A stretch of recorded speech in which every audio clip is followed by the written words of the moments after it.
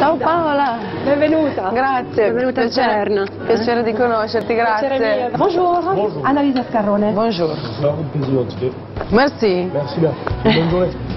Merci Au beaucoup. Ci inoltriamo in questi corridoi labirintici Andiamo. del CERN.